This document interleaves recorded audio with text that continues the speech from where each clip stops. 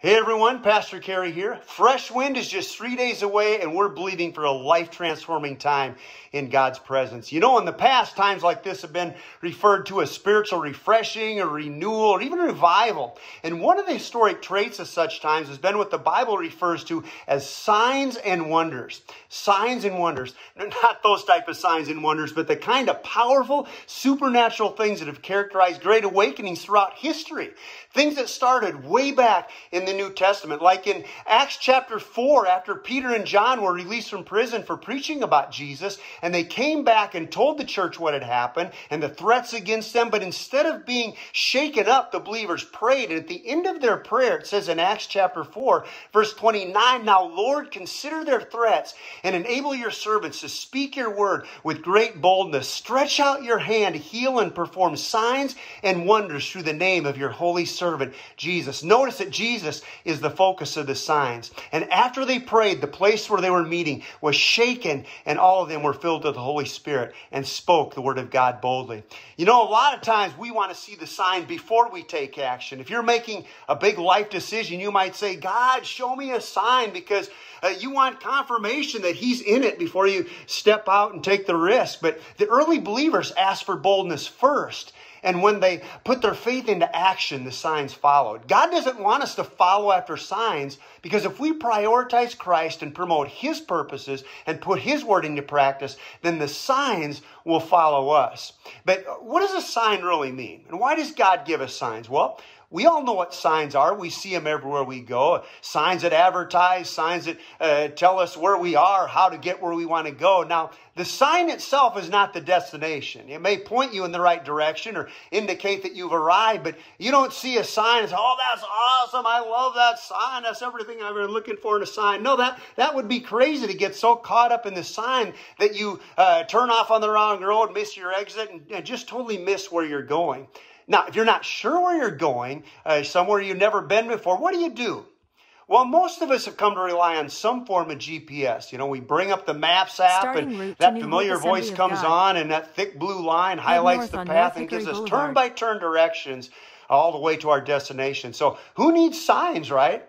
Well, even with GPS, you still look for signs to know which road or exit to take or exactly where to turn because the signs confirm what the GPS told you so that you know exactly uh, which way you're going. Well, the Bible is like a GPS for life. It's the ultimate navigation system. It tells us where to go, how to get there. It keeps us going the right way if we follow it. But sometimes God still shows us signs along the way to encourage our faith and to reassure us that He's with us. And if a sign is truly from God, it will always agree with what he's already shown us in his word. Mark chapter 16 says that the disciples went out and preached everywhere, and the Lord worked with them and confirmed his word by the signs that accompany it. Notice again that they put their faith into action, and then God confirmed that the message was true by supernatural signs. And what was the message? The message was Jesus. True signs from God are ultimately meant to point people to Christ because He's the only way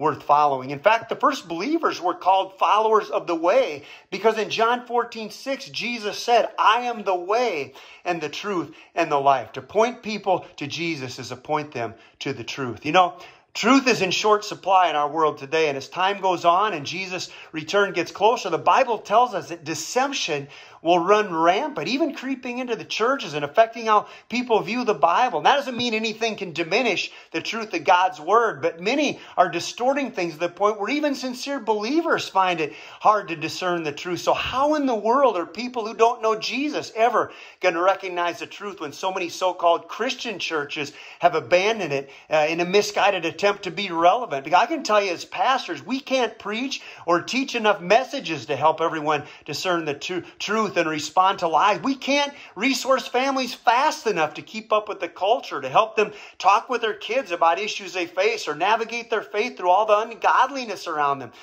As a church, we're going to uh, be faithful to do what we can to stay true to God's word and to equip parents and grandparents to raise families that trust God, but we cannot do it in the natural. And that's where prayers for signs and wonders come in, just like the believers prayed in Acts chapter 4. Now, I'm not one to seek after signs, but I've started asking God, God, if we're being true to you in a world full of deception, if we're preaching and teaching the uncompromised truth of your word and equipping people to live effectively for Jesus, if we're refusing to water down your truth for the sake of accommodating the culture, then God, confirm what's going on in our church with such powerful works that people know that it's not us. And we can only point them to you. So, would you join me in, in, a prayer something like this? God, if your Holy Spirit is truly working through us, then we're asking you to confirm your word and reveal your power in such extraordinary, undeniable, miraculous ways that there is no other explanation except that God is with us. Leave no doubt that you are up to something good in our church. And when people around us are looking for truth in life, but are confused by what they see and hear from churches that have abandoned the truth, show them by your supernatural power that they can find true life in the God we serve. Let people be drawn to this church because they see you working among us and they can come and hear the truth and experience your power for themselves. God, do such mighty things that no person could ever get the glory, but only Christ. Lord, as we remain true to your word and faithful to spread the good news, confirm that message by powerful signs that point people to the only way to true life, your son, Jesus. Amen. And I'll see you at Fresh Wind.